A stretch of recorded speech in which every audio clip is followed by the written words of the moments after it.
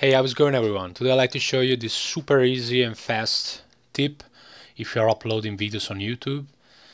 As you can see here there are the tags, you can upload tags such as, I don't know, PlayStation, uh, Linux or whatever.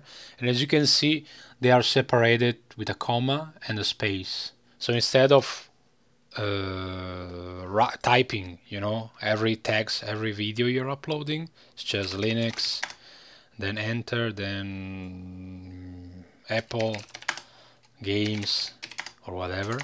You can create a file just a simple file. Here it is with every tag separated with a comma and a space and then you can just paste them like this you know. And that's it.